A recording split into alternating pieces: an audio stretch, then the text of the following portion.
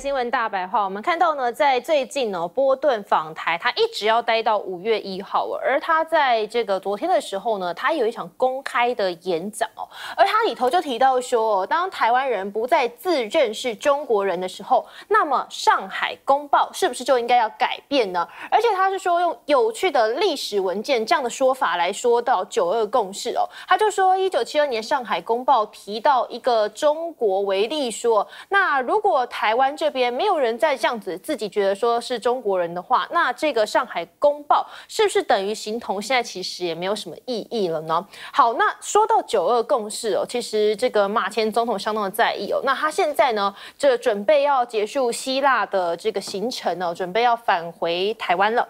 那他当然呢，在里头就提到说，两岸应该要进行避战的谈话哦，而他呢也批这个蔡总统哦，说是违宪以及违反。这个两岸人民关系条例哦，不过就是这样的违宪论哦，那当然呢就引起绿营跳脚。我们看到连行政院长陈建仁呢也痛批说，这个马前总统的出访言行啊，这让国人感到相当的失望哦。而民进党立委哦，一个骂的比一个凶哦。你看许志杰就说，马英九去希腊被矮化不说，还不谴责打压他的幕后黑手哦，反而是只敢批评蔡总统。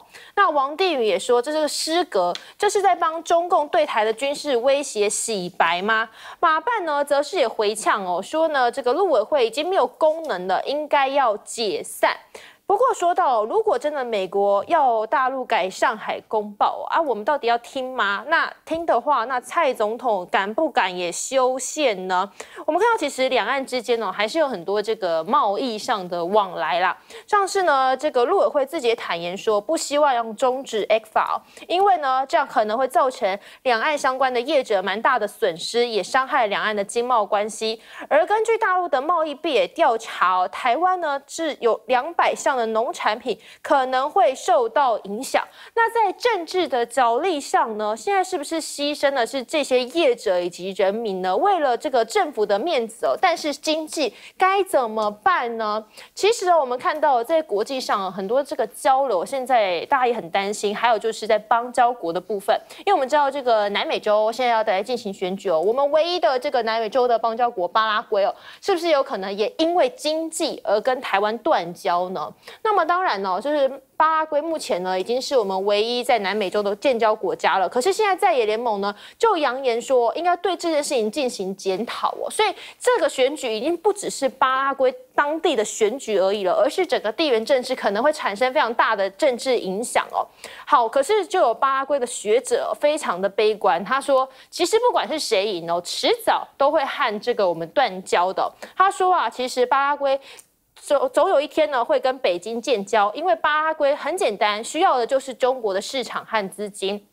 那么现在呢，反对派的候选人是这位艾里格里哦，他其实这个让亲中的态度是比较明确的，所以他也很明白的说，就说要和台湾维系所谓的邦交，会导致巴拉圭的黄豆啊和牛肉啊，南就是等等的出口到大陆可能会有一些受到影响哦，所以呢，他说我们正在阳台上。观看派对哦，那当然呢，现在这件事情呢，也不是只有台湾跟这个巴拉圭之间的事情，或者是中国大陆跟巴拉圭这件事情。你看到美国这个当然也极力劝说，甚至呢，美国有学者就喊话巴拉圭说：“你看看要看看其他国家哦，他要投报中国大陆是弊大于利。为什么？他说像是萨尔瓦多啊、巴拿马等等哦，你看投报中国大陆只有少数人真的获利，反而是引狼入室，让北京可以影响。或是掌控当地的政府哦，不过这个喊话真的有用吗？因为其实我们知道之前这个洪都拉斯的事件嘛，美国也出手了，可是最后没有结果。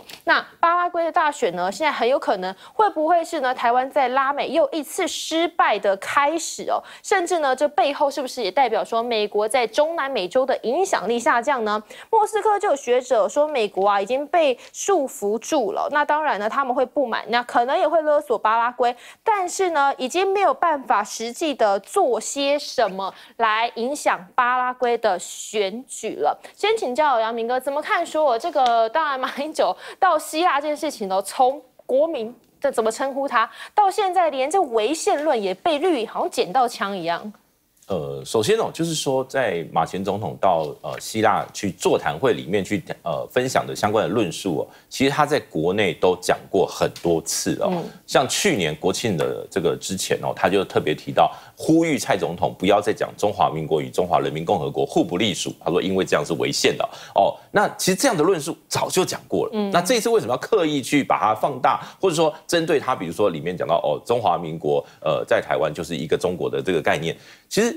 老实说，这个在过去国民党执政一直都是秉持这个所谓宪法架构来去进行两岸的论述哦。那当然，二零一六年民进党执政之后，当然是否定了这样的论述。可是现阶段为什么又要把这个事情不断的放大？哦，当然是因为选举跟政治有关哦。那当然也跟呃现阶段的这个两岸局势有很大的关系。那现在的民进党是不允许哦在国际上有民进党的论述以外的声音。因此，当马前总统他今天哦讲的这个他过去执政时期的这样的论述的时候，民进党必须要尽快的去消毒，去这个把这个灭火，不要让这样的声音继续存在。但这也是民进党一直以来为什么执政这么强势的主因哦。那当然，其实你我们就把这个波顿的这个这句话摊开来一起看哦。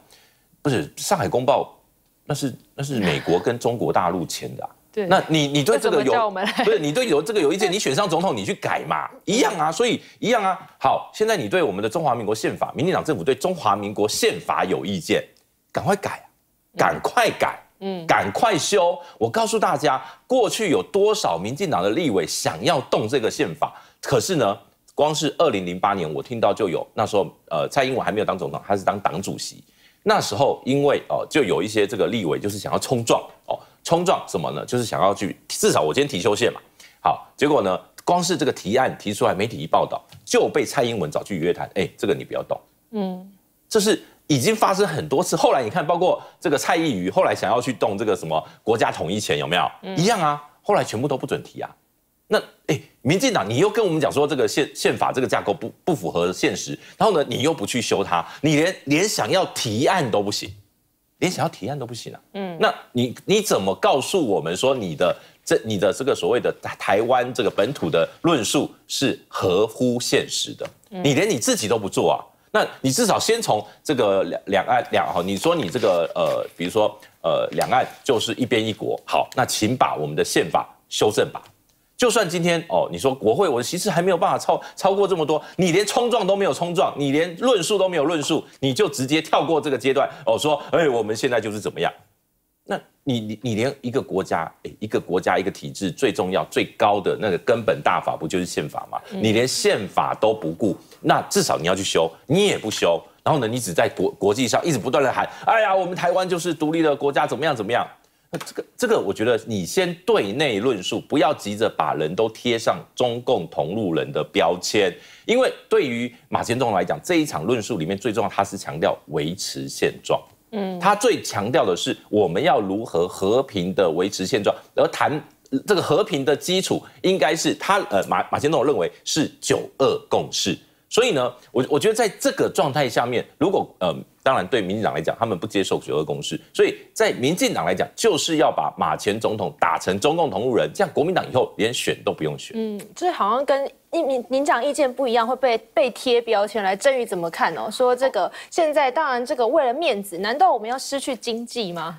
所以啊，就是就是看大家有没有民主 DNA 嘛。觉得照民进党的讲法，就是为了民主 DNA。对，为了民主 DNA，我们就算牺牲了经济，大家吃不饱穿不暖也没有关系，因为我们有民主 DNA。所以这就是民进党，你们应该是说，我觉得你在问蔡英文也没有用了啦。应该是说修不修宪这个议题，或者是说接下来我们到底呃跟中国之间的两边的贸易顺差等等的台湾的红利，赖清德你怎么面对？包含不管是侯友谊、郭台铭，甚至是柯文哲，我们都要去好好去面对接下来下一步到底台湾要怎么走，这才是为你要知道哦。我们因为在所谓当年的九二共识之下，中国大陆的让利，其实台湾人其实大家一直都是被蒙在鼓底的。那我相信为什么这一次他们要用呃贸易的壁垒？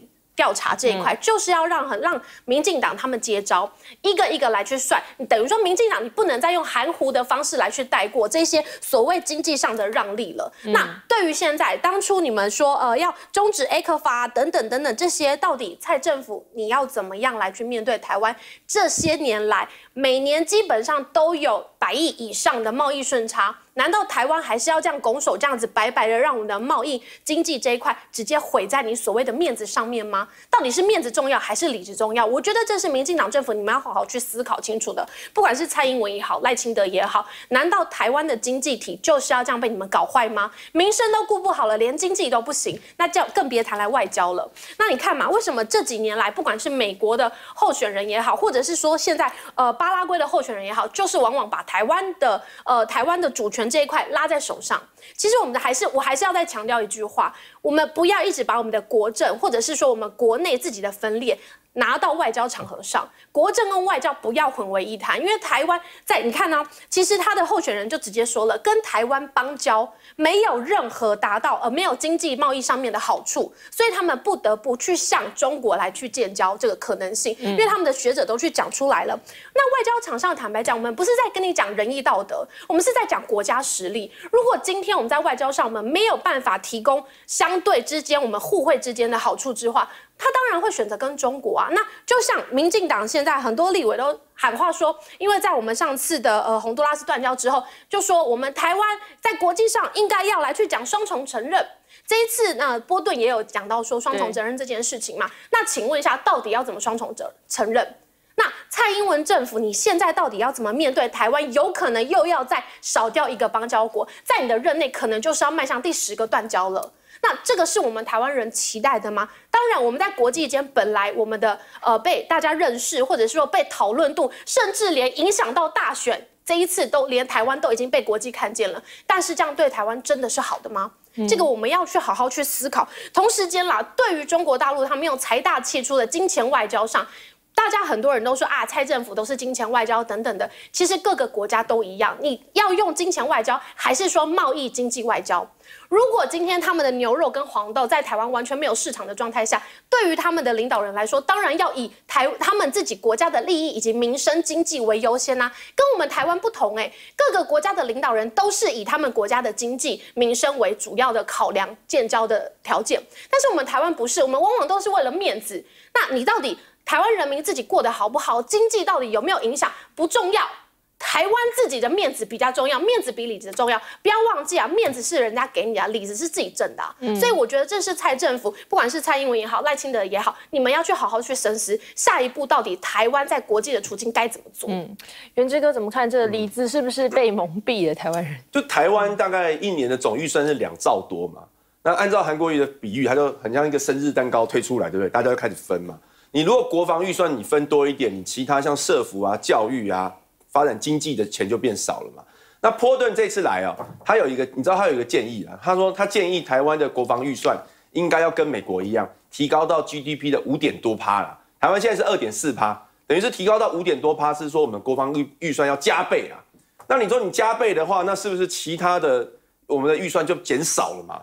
那减少部分当然就理子的部分啊。对不对？你你给整个社会的照顾就变少了，你发展教育的经费就变少。我们要走到这一步吗？更何况根据美国他们众议院的兵推，他说只要一旦贺主失败，台湾就台湾就会有八万个是那个解放军就上上台湾了嘛。我想问，什么叫做贺主失败？要怎么样才能够达到贺主成功？是不是就要买很多很多很多武器？所以你现在看美国这些人呢来台湾，其实推广的都是这个啦，嗯，都都是这个啦，都是买武器啦。他下个下个礼拜不是有二十五家军火商要来吗？对不对？那个洛马啊，那个还有雷神啊，什么都要来，对不对？他们要美其名说，总统府现在在洗风向，说他们是要来发展这个军火的供应链，可以让台湾的一些关键的零组件可以供应给军火商去发展武器。为什么要这样？因为他们现在武器单子太多，生产不出来了，所以只要呢能够把武器生产出生产的出来，就可以卖得出去。那到时候台湾是不是也是变成最大的买家？这就是美国人在想的这一块嘛。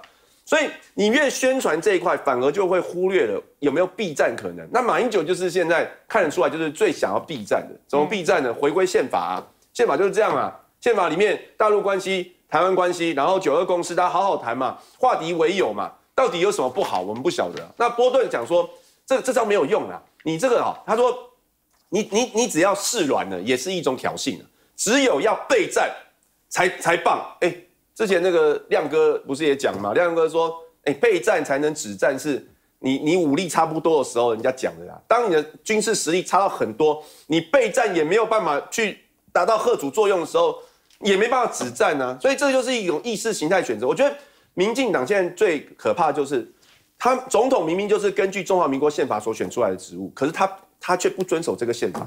这个宪法讲得非常清楚，可是他就马英九在讲宪法的时候，他说：“哎、马英九你这不对。”哎，这什么时候守在台湾守中华民国宪法也变成一种错误？这就是最夸张的地方。这个宪法变成自助餐了、我想吃的时候，我想要权位的时候，哎、我是根据中华民国宪法选出来。但是呢，我不想要它里面讲的东西的时候，又开始讲说，呃，这个没关系。那那那你陆委会你要不要先废掉？我你陆委会你陆委会先废掉，我们再再相信你讲是真的，好不好？嗯，所以这个当然面子例子就看大家怎么选。休息一下，马上回来。